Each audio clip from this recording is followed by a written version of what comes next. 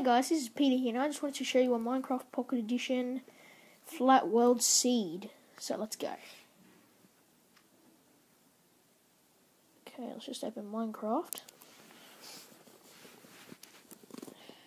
Okay, now the seed.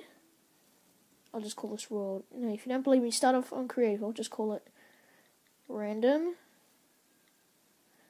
See if the world generator is biome line.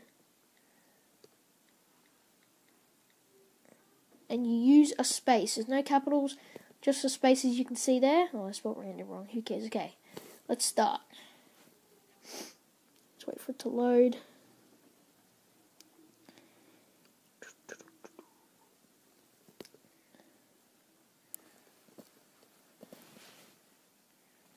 You can just see that my iPod's charging, so don't worry about that. I made an attempt to jailbreak it just before. Okay, here we are, guys. This is the flat world. Let me just fly. And look, use this for school projects, as I know that I go to a school we get iPads and we are using Minecraft. We are using Minecraft for one of our subjects, and we need and me and the me and some other boys needed a flat world. So this would be perfect for projects Yep, it's basically all flat.